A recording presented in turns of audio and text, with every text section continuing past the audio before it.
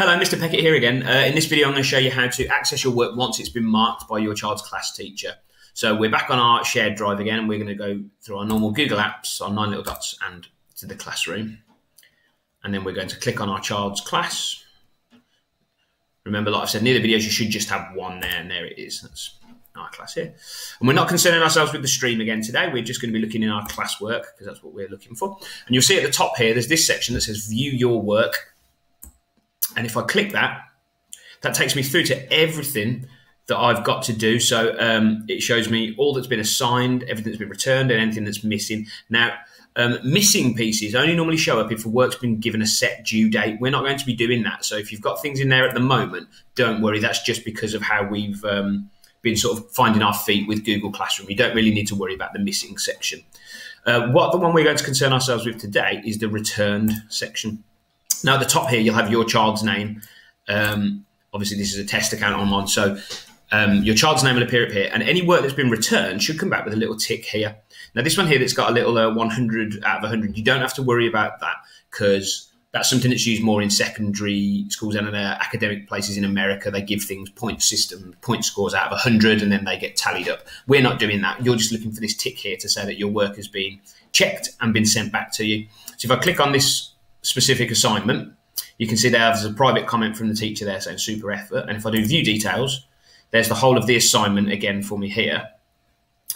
Uh, and here's the teacher's comment just here. If I want to make a private comment back to my teacher about something, so uh, thank you, Mr. Peckett, I can send that back to the teacher that way. Um, then if I click on my piece of work, if I've resubmitted my sorry, if I've submitted my um, my schoolwork as a document and I've either done it in Google Docs or I've done it in Word, when I click it, it'll appear like this. Now, what that means uh, is you can see everything that's been commented on it. And what we're going to do in a marking way is be highlighting things specifically on each document, and there'll be little comments next to it. So here you can see this a particular child has misspelled a word here, so I've put a spelling and given them the first few letters to try and find out how to spell it, and also another one just there. Uh, and that's how you'll be able to view it if it's a, um, a document, uh, a Word document, or um, a Google Doc file. Um, you don't need to resubmit these. Resubmission is more for um, universities and things like that, where you might be given some uh, critical points on a piece of work and then be told to change those and then resubmit your work so the teacher can see it. As soon as it's been returned to your child, that basically just means we've marked it, we've looked through it, we're happy with it, and that's for them to have it back and look at and take on board our feedback. Um, if you submit your work um, as a PDF file using um, the drawing on um, DocHub that we talked about in the other video, or if you've been taking pictures and sending those over, the same sort of thing applies, but it's slightly different. So here's another assignment where I've submitted a PDF file as my work. And again, you can see all of the normal pieces here. You can leave your own comment down here, the private comment back to the teacher, so nobody else in the class sees that. And if I click on the work that I submitted, it comes up looking like this. Now you can see here, there's some highlighted points, but you can't see what those are.